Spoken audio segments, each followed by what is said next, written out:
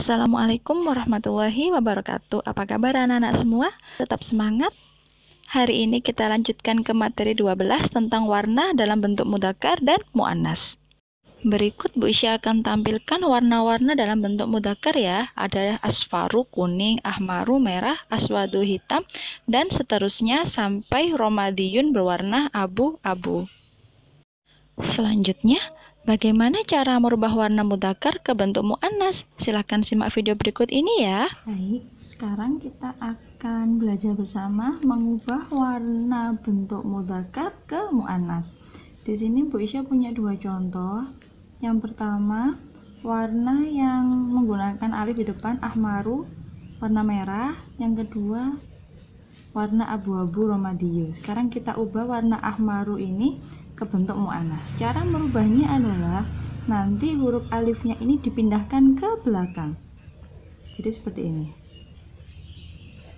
Alifnya dipindah ke belakang, hamzahnya ditaruh di bawah. Setelah seperti ini, harokatnya tetap, yang depan tetap fathah, huruf kedua tetap sukun, huruf ketiga tetap fathah, dan huruf yang terakhir tumah. Jadinya hamro'u, seperti ini. Nah, bagaimana kalau warnanya seperti ini? Romadiyun tanpa alif lebih mudah tinggal ditambahkan tun saja di belakang. Kalau bendanya laki-laki, romadiyo. Bagaimana kalau yang berwarna abu-abu adalah benda mu'anas atau perempuan? Tinggal tambahkan tun saja. Roma di Roma di ya seperti ini. Semoga bisa difahami ya.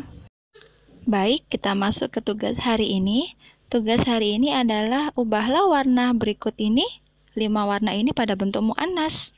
Jika belum paham, silakan di playback ulang pada tutorial membuat warna dari bentuk mudakar ke bentuk mu'annas. Demikian pembelajaran hari ini, semoga bermanfaat untuk kita semua. Wassalamualaikum warahmatullahi wabarakatuh.